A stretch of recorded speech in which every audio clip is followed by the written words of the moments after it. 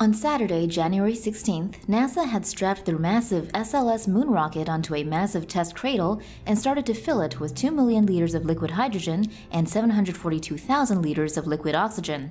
The engines roared to life at 5:27 p.m. Eastern Standard Time.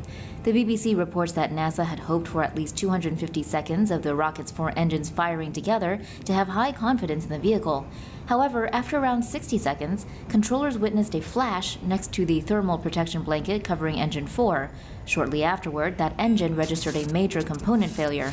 As a result, an onboard computer sent a message to another computer called the core stage controller, which took a decision to shut down the vehicle. It's not yet clear what happened. The engine's power levels were being throttled down and up again.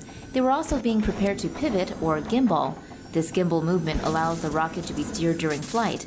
A NASA spokesman said the fault seemed to occur around the time the gimbal function was initiated. This glitch is expected to delay the rocket's planned launch date in November. The SLS is part of NASA's Artemis program, which aims to put Americans back on the moon by the mid 2020s.